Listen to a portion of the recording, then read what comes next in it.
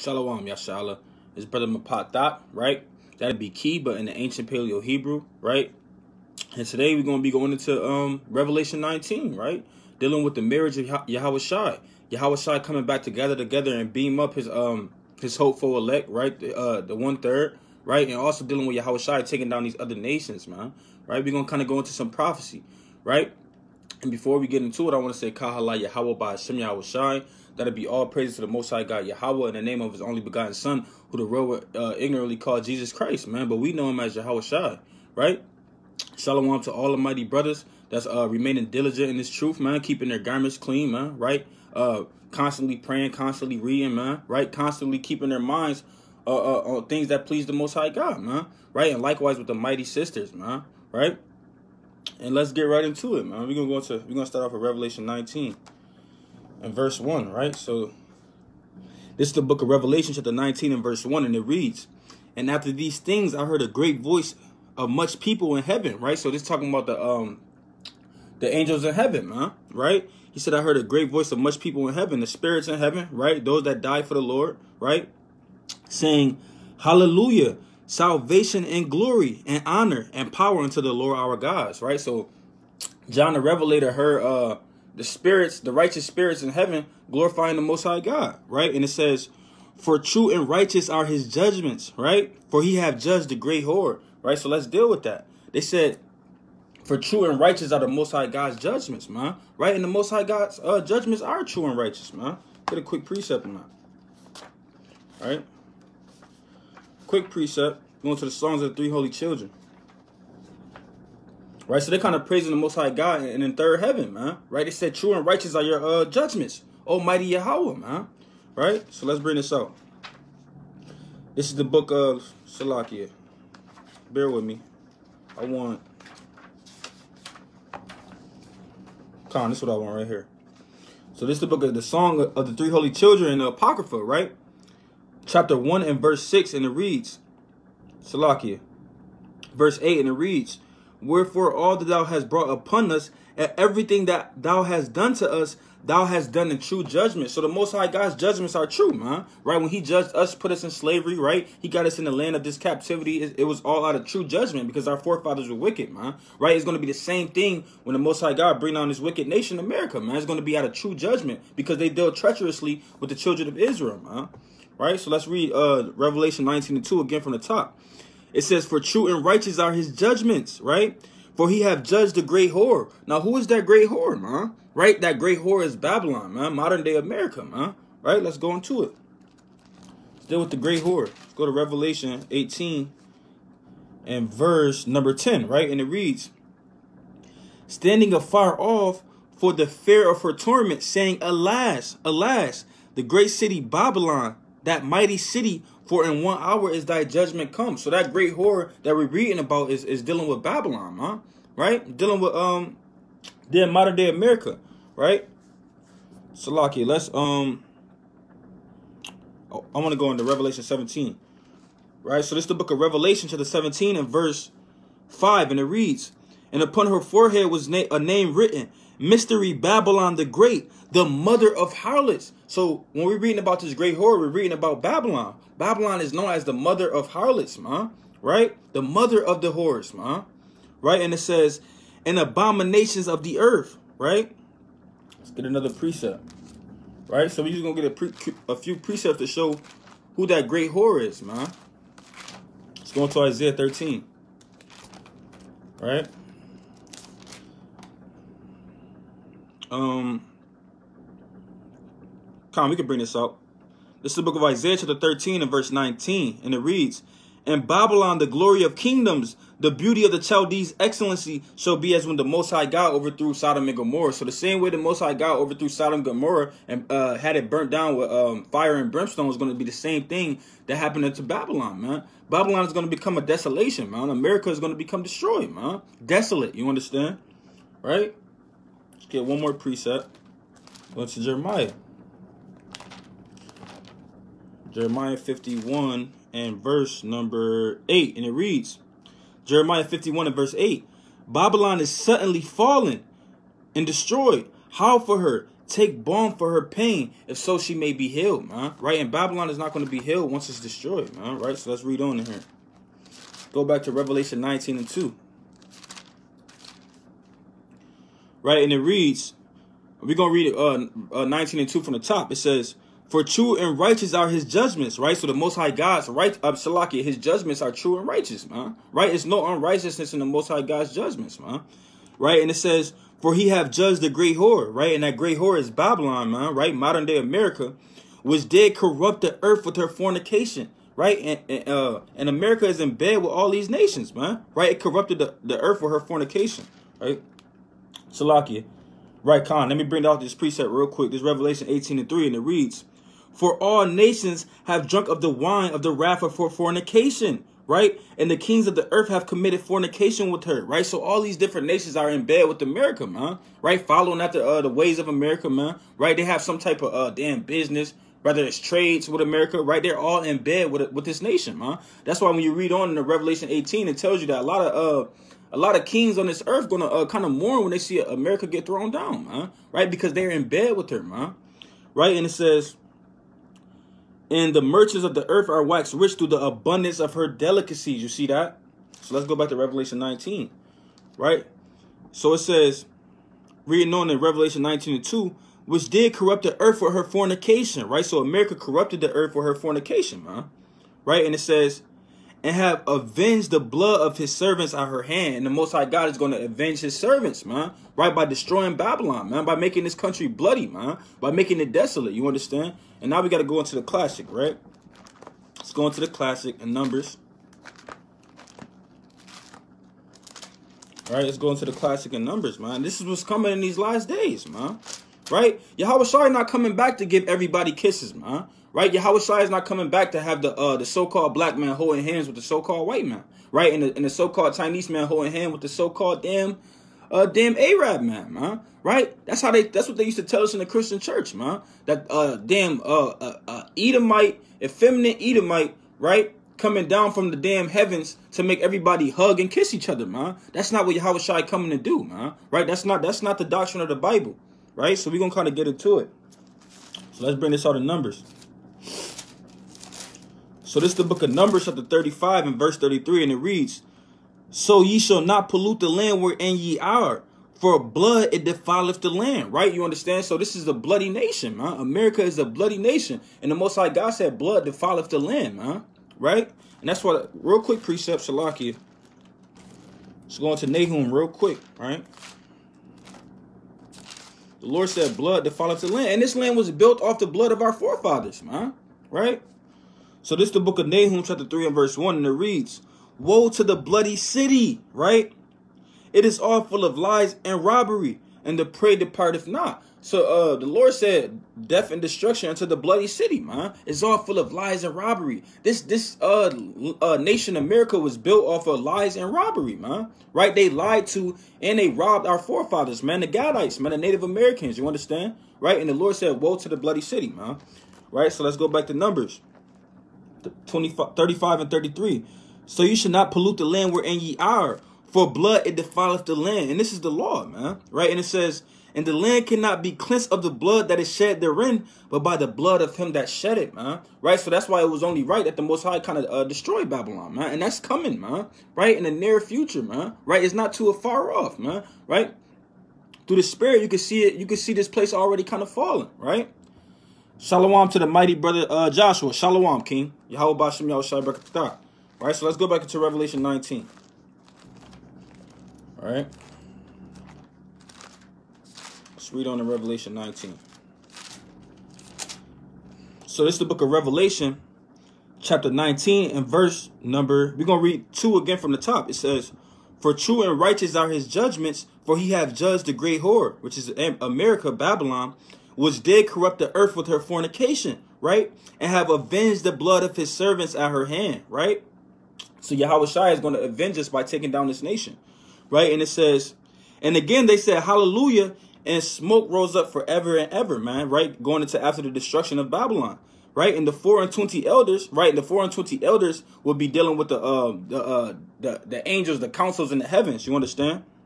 Right? But that'd be a breakdown in its own right? And it says, and the four beasts fell down and worshiped the Most High God that sat on the throne. And the four beasts is dealing with the chief uh, archangels, right? Saying Amen and Hallelujah, right? Verse 5. And a voice came out of the throne saying, Praise our God, all ye his servants, and ye that fear him, both small and great, right? And it says, and I heard, as it were, the voice of a great multitude, and as the voice of many waters, right? So you heard the voice of a great multitude dealing with the angels, and you heard the voice of many waters. And we all know who got the word, the voice like many waters. That's dealing with Yahawashi. You understand? So it says, and as the voice of many waters, and as the voice of mighty thunder, and saying, Hallelujah, for Yahweh, right? Omnipotent, uh, Salaki, omnipotent reigneth. Let us be glad and rejoice and give honor to him. For the marriage of the Lamb is come. So the marriage of Yahawashi has come, huh? Right? We know pursuing the uh first Peter chapter one, and I believe is uh let me let me go into it, right? Because I don't want to butcher the precepts. Right? Just to just in case just for edification's sake, right? To show who that lamb is, right? Go to I mean it's like it's second Peter chapter one and verse I believe it's 19. It's like is it first Peter 1 and 19? Salakia. Bear with me. Find this precept. Con, this is what I want right here. First Peter 1 and 19. But with the precious blood of Hamashiach as a lamb without blemish and without spot, right? So we understand that that lamb is Yahawashi, right? Just for edification's sake, I know all of us should understand this, right? We're going to bring out the precepts, kind of uh, prove it, right? So this is the book of St. John, chapter 1 and verse 29, and it reads, the next day, John seeth Yahweh cometh unto him and said, Behold, the Lamb of the Most High God. Right? So Yahweh is considered the Lamb of the Most High. Right? And it says, which taketh away the sin of the world. Right? So we're reading about this Lamb in Revelation 19. Right? We understand through the precepts that is dealing with Yahweh. Right? So it says, re reading back on in Revelation 19 and 7, For the marriage of the Lamb is come, and his wife have made herself ready right? So the marriage of the lamb is come, huh? What is that talking about, man? Let's go into the precepts, right? Right, because we're the um Salakia. Because we're the uh, the wife of Yahawashi, man. Right? The, the Lord has likened the daughters of Zion to the uh, comely and delicate woman, man. We're referred to as women throughout the scriptures, man. Right? Us being Israel will be the wives of Yahawashi, man. Right? So let's go into it. Get a quick precept. Let's go into Sirach 7. Right? Salakia. Let me see what I wrote down.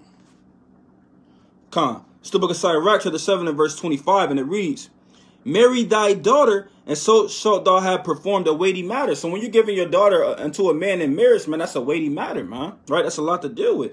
Right? And it says, but give her to a man of understanding, right? And that and we're uh the daughters of Zion, man, right? And we're being given to the the man of the chief man of understanding, man. We're be, we're being given unto Yahawashi in marriage. You understand, right? So the Lord said, "Give your daughter unto a man of understanding," right? It says, "But give her to a man of understanding, man." Right? And we're we're being giving unto Yahawashi in this marriage, man. Right? When Yahawashi come back, it's being likened unto a marriage, man. Right? Let's get another precept in that. Go to Isaiah. Go to Isaiah 54 right? So this is the book of Isaiah, chapter 54 and verse 5, and it reads, For thy maker is thine husband, right? So the Lord is our husband. The Lord of hosts is his name. And thy Redeemer, the Holy One of Israel, the power of the whole earth shall he be called, right? So we understand that the uh, Lord is our husband, huh? Right? And that's why Paul told us he's going to present us as a chaste virgin until Hamashiach, man. And Shalom, Yahweh Yahushai, Barakatah, Shalom, gadget. Right? So let's go into First Corinthians. Right? That's why the Lord, uh, Paul told us that the Lord is going to give us, we got to be presented as chaste virgins until Hamashiach, right? So this is the book of Second Corinthians, chapter 11 and verse 2, and it reads, For I am jealous over you with godly jealousy, for I have espoused you to one husband, right? And that one husband is Yahawashi, that I may present you as a chaste virgin to Hamashiach. Does that mean that that um if you have uh, sex right that you're not going to make it right? That's not what the Lord dealing with. When, a, when uh, Paul telling you he's going to present you as a chaste virgin, that means as a man that's uh following Yahawashi in pureness of heart, huh? Right after your whole heart. You're not uh dealing with this doctrine, dealing with that doctrine, and dealing with that doctrine, right? You're not dealing with all these different doctrines, man. You you are uh, fully following Yahawashi, man. Right? Let's get another precept on that. Right? Let's go into Leviticus. And Yahweh will be the priest after the order of Melchizedek, man. Shalom, Shalom Yeshada Adhu, Shalom, King. Right? Right? So this is this is the law pertaining to priests, and we know that Yahweh is a priest forever after the order of Melchizedek, man. Right? So this is the book of Leviticus, chapter 21 and verse 7, right? They shall not take a wife that is a whore, right? So we can't be a whore dealing with in the bed with this doctrine, right? With this doctrine, that doctrine, and this doctrine, man. We got to follow uh, Yahawashi with fullness of our uh, of our heart, man, right? And the pureness of heart, right? Because Yahawashi can't take a wife that is a whore, man, right? And it says, or profane, neither shall they take a woman put away from her husband, for he is holy unto his God, right? So that's even in the law. That's why we have to be presented, Salakia, presented as chaste virgin unto Yahawashi, man, right? Because Yahawashi can't deal with whores, man, right? So we're to go into a, uh, another precept just to show how the returning of Yahawashi is likened into a marriage, man, right?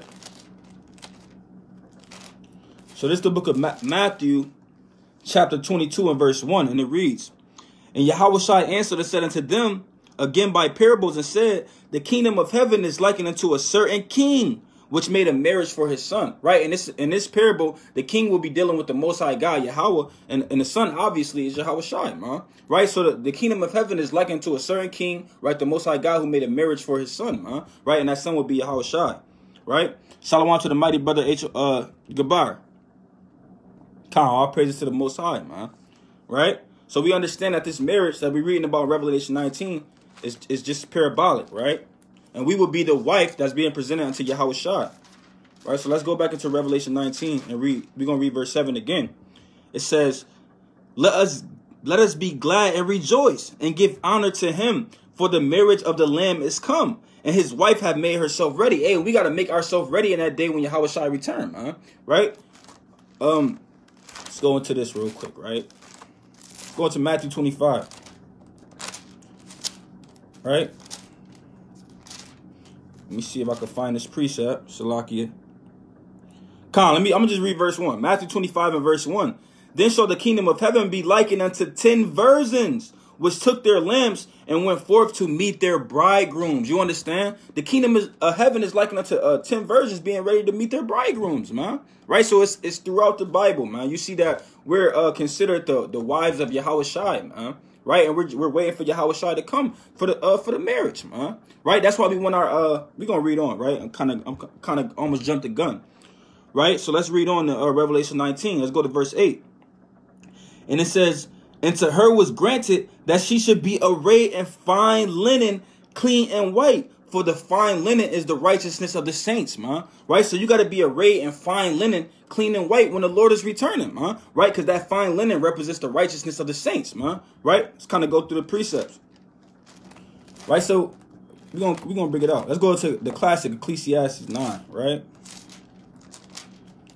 So this is the book of Ecclesiastes, chapter 9 and verse 8. And it reads, Let thy garment be always white. And that's why we want our garment to be always white we don't want the Lord to come and we kind of get caught with our pants put down, man. We kind of got blots all over our garments, man. You got damn steak sauce on your garment, man. Right? You got blood on your garment, right? You want your garment to be always white, right? Because that, that white represents your righteousness, right? And it says, let thy garments be always white and let thy head lack no ointment, right? So I just wanted to get the point from that, that we got to let our garments be always white, man. Right? And shalom to the mighty brother Mattathias. Shalom, King. Right? So let's go into Genesis. Let's go to Genesis 35. Let's see what um our forefather Jacob told us from the beginning, man.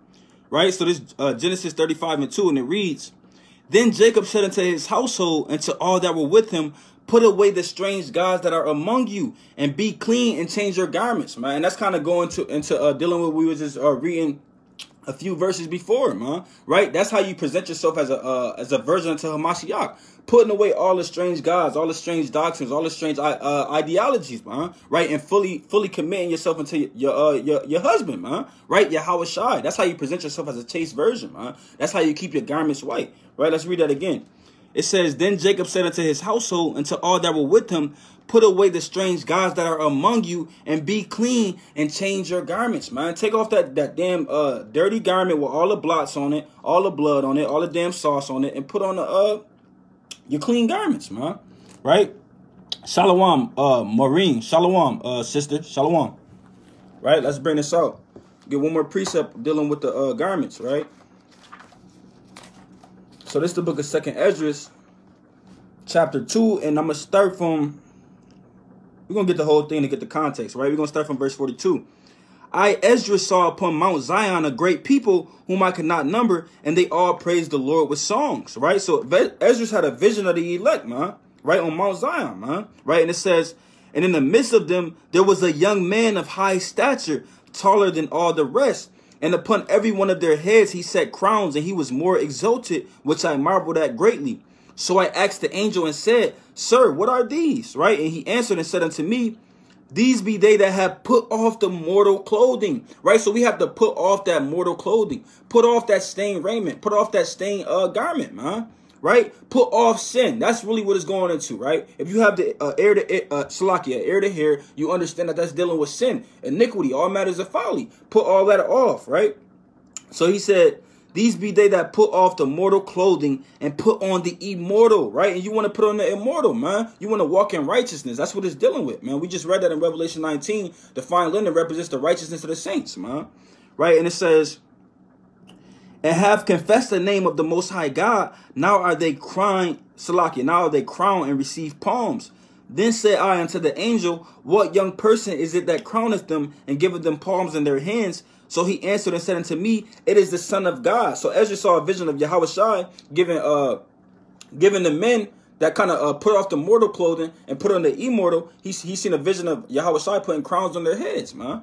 Right? And it says, Whom they confess in the world. Then began I greatly to commend them that stood so stiffly for the name of the Lord, man. That's a I love that chapter, man. That's a heavy account right there, right? So let's go back to Revelation 19 and read on. Right? So this is the book of Revelation, chapter 19. We're going to read verse um 8 again, right? And it says, And to her was granted that she should be arrayed in fine linen, clean and white, right? And we went through the precepts to show what that fine linen and that white garment was dealing with, right? And it says, For the fine linen is the righteousness of the saints, right? And it says, reading on, He saith unto me, Right, blessed are they which are called into the marriage supper of the Lamb, man. And you're blessed if you're called into that marriage, man. Right? And it says, And he said unto me, These are the true sayings of the Most High God, right? And reading on, it says, And I fell at his feet to worship him, and he said unto me, See thou do it not. I am thy fellow servant. So you had John the Revelator, he trying to uh, uh, fall at the feet of the angel and kind of worship the angel. But the uh, the angel kind of told him to get up, man. I'm your fellow servant, man. Right? He said, See thou do it not. I am thy fellow servant and of thy brethren that have the testimony of Yahawashi. Worship the Most High God. For the testimony of Yahawashi is the spirit of prophecy, right? And the testimony of Yahawashi is the spirit of prophecy. To be able to go into the prophecies and break them down, to be able to go into the scriptures and kind of uh, break it down, man, make it make sense, man, right? He said this, the uh, testimony of Yahawashi is the spirit of prophecy. And that's what we got to be doing in these last days, right? Get a couple precepts. Right? So it's the book of Sirach, chapter 39 and verse 1, and it reads, But he that giveth his mind to the law of the Most High, and is occupied in the meditation thereof, will seek out the wisdom of all the ancient, man. Right? And we should all be occupied in the meditation of the word, right? We should all be seeking out the wisdom of all the ancient, right? And the ancient would be our forefathers that we read about, we read about in the Bible. Right? And it says, and be occupied in prophecies, man. Right? So we got to be occupied in prophecy in these last days, man. We kind of see things coming to pass. We want to be occupied in the prophecies, man. Right? You want to uh, be occupied in Revelation, be occupied in uh, Isaiah, man. Right? Be occupied in Second Esdras. You understand? We got to be occupied in prophecies, man. That's thus said the Lord. Let's get another precept. Right? Because the, the spirit of prophecy, Salakia, the testimony of Yahawashi is the spirit of prophecy. Right? So this is the book of Second Esdras, chapter 15 and verse 1, and it reads, Behold, speak thou in the ears of my people the words of prophecy. Right? So the Lord says, Speak thou in the ears of my people the words of prophecy, man. Right? And that's what brothers kind of doing right now through the spirit and uh, power of Yahweh Bashem Shai. Right? The Lord said, Behold, speak in the ears of my people the words of prophecy, which I will put in thy mouth, saith Yahweh, man. So we got to uh, proclaim the prophecies in these last days, man. Kind of go into them, huh? Right? Brothers can't be sitting in the damn, the book of, uh, the book of Genesis all day, man. Brothers can't be sitting in the book of uh, Esther all day, man. Right? Brothers can't be sitting in the, uh, the book of damn Deuteronomy all day, right? Just reading about the curses all day, man. Right? We got to be occupied in prophecies, man. Right? We got to eat the whole road. Right? So read in verse 10 again, and it reads, uh, Revelation 19 and 10, Salakia, it reads, And I fell at his feet to worship him. And he said unto me, See thou do it not. I am thy fellow servant of thy brethren that have the testimony of Yahweh Worship the Most High God, for the testimony of Yahweh is the spirit of prophecy, man. That's the testimony of our Lord and Savior, man, the spirit of prophecy, right? And it says, And I saw heaven open, right? And behold, a white horse. And he that sat upon him was called faithful and true. And in righteousness he doeth judge and make war, man. Right? So that, that white horse is dealing with a chariot, man. Right? That's not a literal white horse, man. We're going to go into the precept. I'm going to get a quick precept, right? Right? So they, this is going into Yahawashi coming back on a chariot, man. Let's go into uh, First Maccabees 10, right?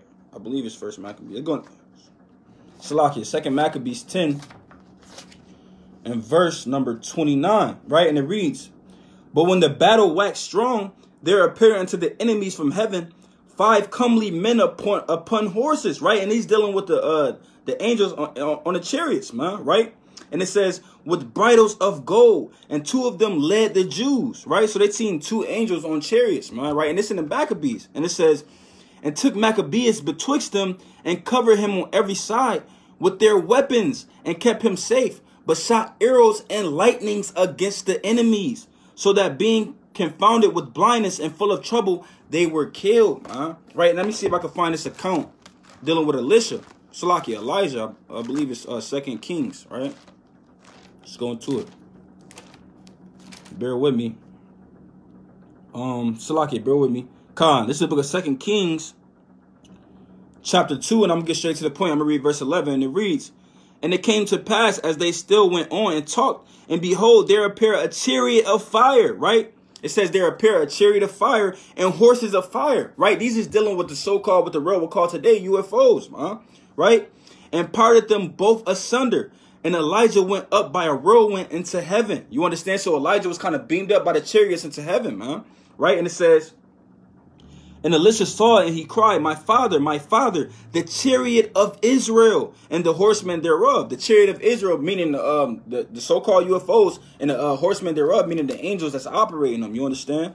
Right? And it says, and he saw him no more, and he took hold of his clothes and rent them in pieces, man. So right when we read about this this uh, horse that Yahweh is coming back on, is dealing with chariots, man. It don't mean Yahweh is coming back flying on a literal uh, white horse, man. It's dealing with the chariots, man. Right, and that and white just represents the color of of being pure, man. Being in your innocence, you understand? So let's go back to Revelation 19. Right? Revelation 19 and verse number we read 11 again. It says, And I saw heaven open, and behold, a white horse, right? The chariot that Yahawashi is uh, returning on. And he that sat upon him was called faithful and true. And in righteousness he doeth judge and make war, right? And Yahawashi judge and make war in righteousness, right? Right, so let's bring this out in Proverbs. Right, just a quick precept spirit. Right, so this is the book of Proverbs, chapter 20 and verse Salakia. 20 and verse 8, right? And it reads, A king that sitteth in the throne of judgment scattereth away all evil with his eyes. And we understand that the eyes of the Lord uh, is dealing with the the, uh, the angels of, of the heaven. You understand? Right? So it says the king that sitteth in judgment scattereth away all evil with his eyes, man. That's what the Lord going to do when he return. Uh, when he return with the angels, they're going to scatter away all evil, man. Right? Through destruction, man. Right? So that's the only pre. I just wanted to bring that out real quick, right? And it reads, Verse 12. And his eyes were as a flame of fire, right? And on his head were, were many crowns. What does that mean that Yahawashi is returning with many crowns on his, on his head, man? Does that mean Yahawashi going to have a, a bunch of many crowns, one crown right here, one crown right here, right? That's not what that's going into, man. Right, let's read it again. It says, and on his head were many crowns, man. Right, let's let's bring up the uh, a precept dealing with that, right? quick precept, right? So this is the book of Revelation, chapter 11 and verse 15, and it reads, And the seventh angel sounded, and there were great voices in heaven saying, The kingdoms of this world are become the kingdoms of our Lord, and his Amashiach, he shall reign forever and ever. Right? So that's what we're reading about when we see that it says, Yahawashi is going to have many crowns on his head, man. That's parabolic. It's just dealing with Yahweh taking over all these kingdoms, you understand, and reigning, uh, reigning over the, uh, the damn earth, man. Right? So it says, the kingdoms of this world are become the kingdoms of our Lord and of his Amashiach. He shall reign forever and ever, right? So that's what that's that's what that's dealing with, man. Right? And going back to Revelation 19, it reads, Shalakia. I'm gonna read 12 again. His eyes were as a flame of fire, and on his head were many crowns, right? Because he's to take over all these different nations, man, right? And he had a name written that no man knew but he himself, right? So what does that mean, man? Right? Does that mean that Yahweh, his name is not going to be Yahawashi anymore, right? And he's going to have a name that nobody know, man, right? That's not what that's dealing with, man, right? That's dealing with the uh, the name that he's coming in, the spirit he's coming in, the image he's coming in. You understand, right? Because when Yahawashi return, He's going to come as something that we couldn't even imagine, that we couldn't even fathom in these in these mortal bodies. Because right now we only see through a glass darkly. You understand, right? Because you got a lot of doctrines out there. You got brothers saying y'all calling y'all not even calling him the right name because he's coming with a different name, huh? Right? That's not what that's going into. Right? Let's quick precept, right? So this is the book of Ecclesiastes, chapter 7 and verse 1, and it reads, A good name is better than precious ointment. Right? So does that mean um you got to have a good name uh, on a literal level. Like if your name is John, that's not good enough. Your name should have been Ezekiel, man. Right? That's carnal. That's not what the Lord dealing. That's not what the Lord dealing with. Right? It says a good name is better than precious ointment. A good name is dealing with your reputation. You understand? Having a good a good reputation, right? Coming in a, a good spirit is better than precious ointment. Right? That's what that's going into, man. Right? Like right now, when we think about King David, he has a good name. Not because his name is David, but because of things that we read about him. You understand? Right? We understand the spirit that he was coming in, right? By reading about him and hearing about him. You understand? So it says, a good name is better than precious ointment, and the day of death than the day of one's birth. But the point I wanted from that is dealing with the name. Huh? When we read about Yahawashi having a new name that no man knows, it's just dealing with his, his reputation. You understand? His spirit, right? Because we, we only see through a glass darkly. We don't know everything about Yahawashi as we ought to know, right? As we think we know, right? Let's bring this out in uh, Corinthians. Right? So this is the book of First Corinthians, chapter 13 and verse 9, right? And it reads, For we know in part, and we prophesy in part, right? So brothers only know in part. We only prophesy in part, man right? We don't uh, 100% have full understanding of Yahawashi, right? In the spirit that he's returning him, huh? right? We're prophesying in part, man, right? That's why he's coming in a name that no man knoweth, right? And I'm going to jump to verse 12. It reads, for now we see through a glass darkly, meaning we we kind of we kind of understand what's going on when we read the scriptures, but in these corruptible bodies, we don't really uh we don't really fully understand, and we can't fully grasp the uh the the, the things that's going to come to pass, man. Right? We see through a, a glass darkly, but then face to face, right? Now I know in part, but then shall I know even also as I am known. You see that? So right now we just see through a glass darkly, man. We prophesy in part. So that's what that's dealing with when we when it says he has a name that no man knoweth, man. Because we only prophesy in part. We don't know the true spirit, the true image that Yahweh is coming in, man. Right. So stop letting people tell you that. That mean that we don't know the true name of the Lord, man. Right? Because let's bring this up. Right? just to cut that real fast right? Just to cut that that folly doctrine that brothers is calling on the false name because he's coming in a new name, man. right? So let's go into Matthew 1 and 21. Right? So this is the book of Matthew, chapter 1 and verse 21, and it reads, And she shall bring forth a son, right? Talking about Mary, right? And thou shalt call his name Yahawashi, for he shall save his people from his from their sins, right? So just right here, we read that his name is Yahawashi. And then we go into Hebrews and we read that the Lord does not change, man. He's not going to come in a new name, right? So this is the book of Hebrews, chapter 13 and verse 8. Yahawashi HaMashiach, the same yesterday, the same today, and forever. Man, Yahawashi is going to be the same forever. His name is not going to change, man. Right? So that's just dealing with the spirit that he's coming in, man. Right? So going back to Revelation 19 and reading verse number 12 again. His eyes were as a flame of fire, and on his head were many crowns. And he had a name written that no man knew, but he himself. And he was clothed in a vesture dipped in blood. And his name is called the Word of God. Right? So this doesn't sound like uh damn effeminate, uh sweet, uh so-called white man Jesus that I'm reading about right here, man. It says he's gonna come back in a in a vesture dipped in blood, man. Why is sweet Jesus that's coming back to give everybody hugs and kisses dipped in blood, man? Right? That's folly. That's why, man. Right? Let's let's bring out the precept, right? Going to Isaiah 63, man. We're gonna read about why Yahawashi is dipped in blood.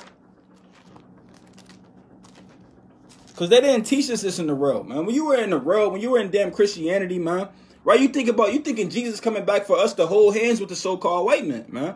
You thinking Jesus coming back for all of us to be one people, man? That's what that's what they make it sound like. But we read in the prophecies that uh, Yahweh is coming back to um to be bloody, man. Right to slay these nations. You understand? Right to slay the wicked Israelites, man. Right. So let's read this in Isaiah 63 and 1. Let's see why uh, John the Revelator saw Yahawashi with a bloody vesture on, huh? Right? And it says, this Isaiah 63 and 1.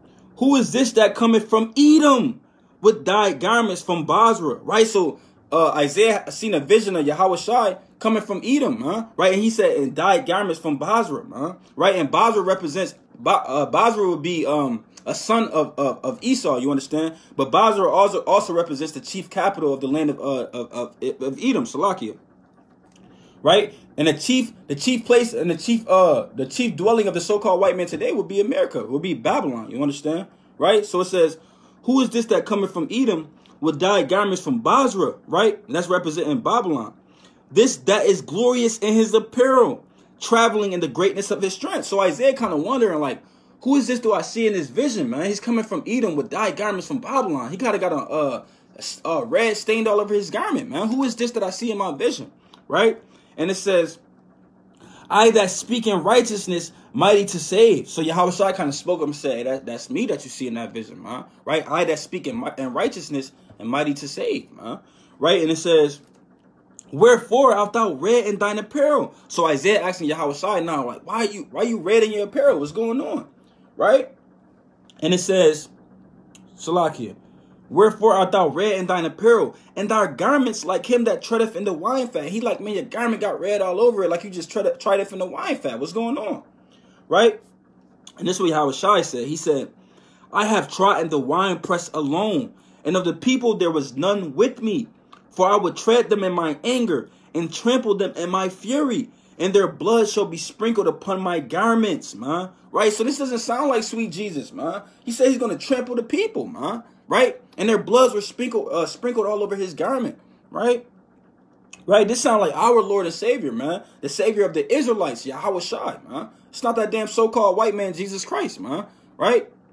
Yahawashi not coming back to give the real hugs and kisses, man. Right? Yahawashi is not coming back to make peace uh, with the with the nations. You understand? Right? It's going to be peace in Jerusalem, man, right? And it says, for it says, for I will tread them in my anger and trample them in my fury, and their blood shall be sprinkled upon my garments, and I will stain all my raiment. Man, this is a powerful account. Yahawashi said, man, I'm gonna stain all my raiment, slaying all these nations, and even the wicked Israelites, man. That's that's, that's still holding hand in hand with Babylon, man. They're gonna be slain too, right? And Yahawashi said, For the day of vengeance is in my heart, and the year of my redeemed is come. Uh, right? So let's go back to Revelation 19. And that's why it reads, Revelation 19 and verse, we're going to read verse 13 again. It says, And he was clothed with a vesture dipped in blood, and his name is called the Word of God. Right? And reading on, it says, And the armies which were in heaven follow him upon horses, upon white horses, right? clothed in fine linen, white and clean. Salakia. Let's bring out a uh, quick preset. Let's go to Isaiah 26. Right? Because we understand that Yahawashi is, uh, is returning with the host of the angels, man. Go to Isaiah 26. Right? So this is the book of Isaiah, chapter 26 and verse 19. And it reads, Thy dead man shall live, together with my dead body so they arise, right? So this is speaking about the resurrection. We understand that the seventh trumpet is going to be when Yahweh returns, and it's also going to be when he beams up his elect. You understand? Right? During the resurrection. It says, Awake and sing, ye that dwell in the dust, right? So all those, even that's dead in Hamashiach, they're going to arise and sing. You understand? They're going to be beamed up, right? Ye that dwell in the dust, for thy dew is as the dew of the herbs, and the earth shall cast out the dead. Right? And it says, Come, my people, enter thou into thy chambers, right? And shut thy doors about thee, right? Dealing with the chariots. You're going to be beamed up. You're going to enter into the chambers of the Lord, right? And the, and the Lord says, Shut thy doors about thee. Hide thyself as it were for a little moment until the indignation be overpassed, right? And we're going to be in the chariots with the Lord until the indignation and the destruction of this world be overpassed, man. Right? Shalom, Sister Ruth. Shalom. Right? So that's dealing with the uh the the Lord returning with the angels. Right? So let's go to Revelation 21 and verse 1, right? And it says, Salakia, and I saw a new heaven and a new earth, right? For the first heaven and the first earth were passed away, and there was no more sea. Right? And that's dealing with new rulership, right?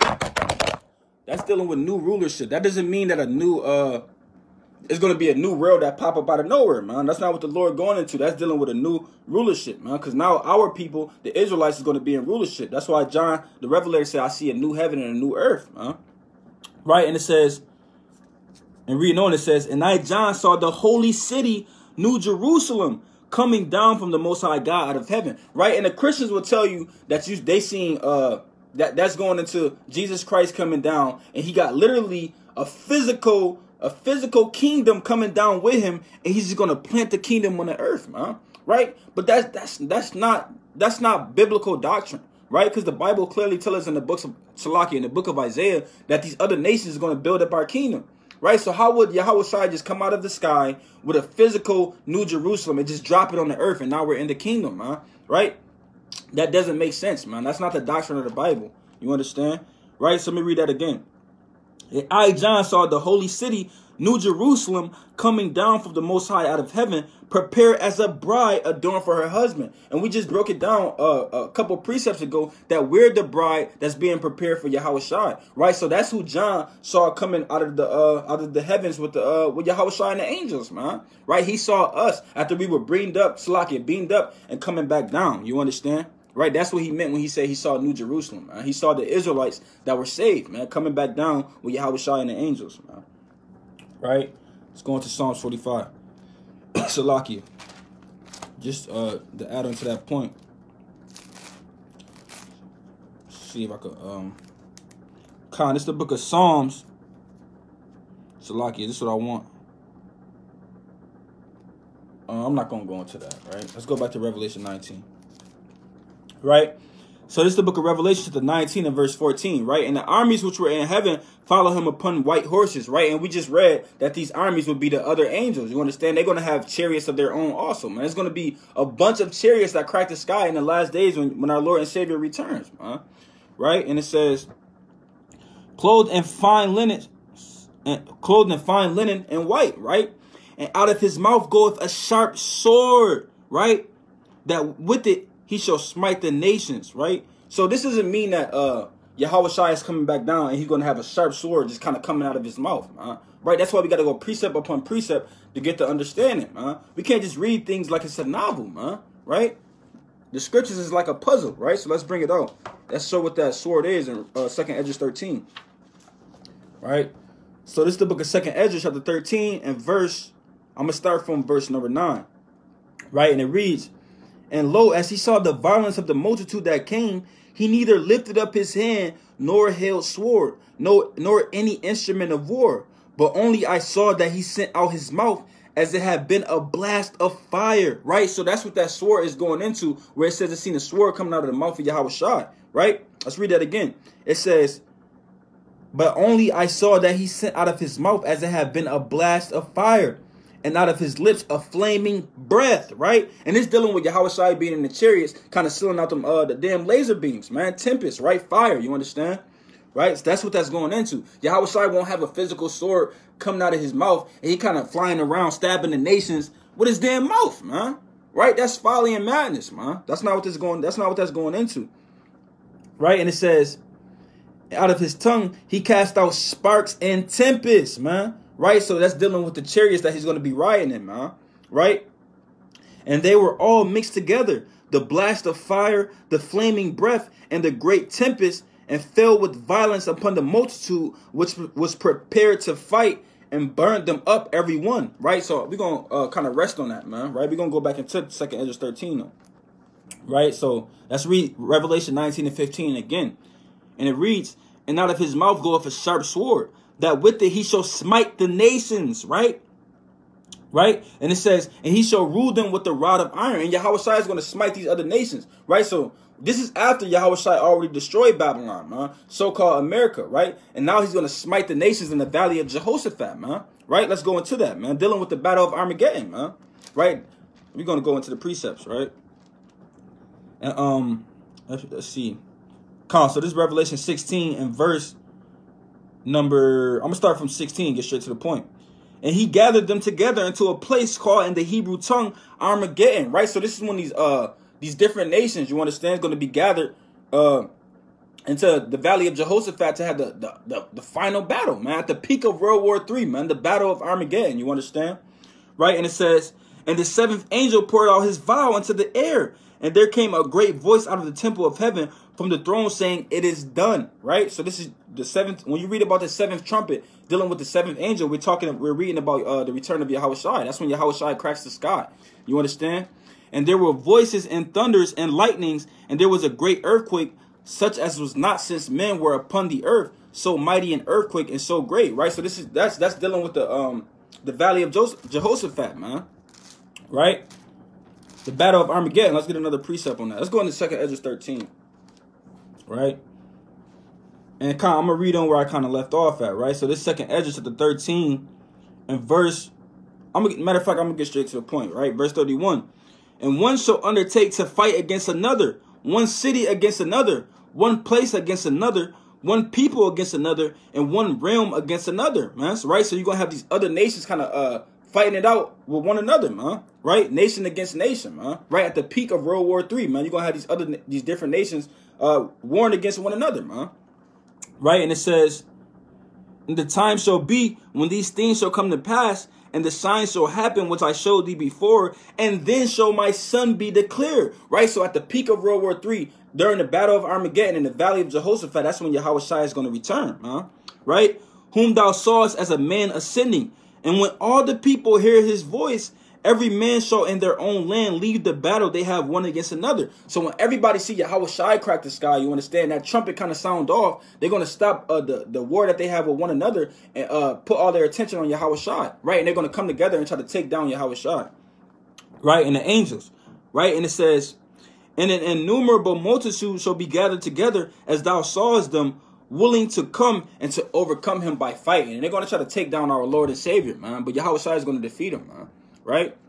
Shalom to the mighty brother Yaramayan. Shalom, King. Right? So let's go back to Revelation 19.